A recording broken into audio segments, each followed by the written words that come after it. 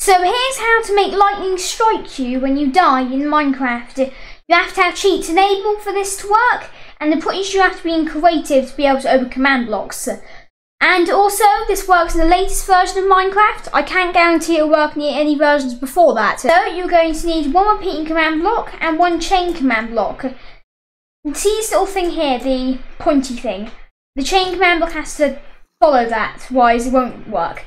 To do this, put slash scoreboard, objectives, add deaths. You can call whatever you want, deaths one, die, anything really. I'm just to call it deaths, and then put death count. And then it says create new objective deaths. Then head over to your repeating command block, put execute, at, this, at a, brackets, scores equals, different brackets, deaths equals one, um, deaths will be whatever you put in. So if you put die or die one or one or whatever, do that. And equals one dot dot different brackets brackets.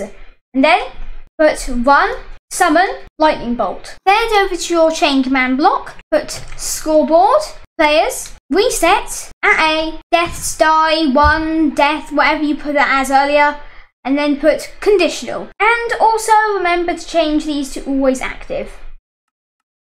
And now, zombies, it looks like your time has come.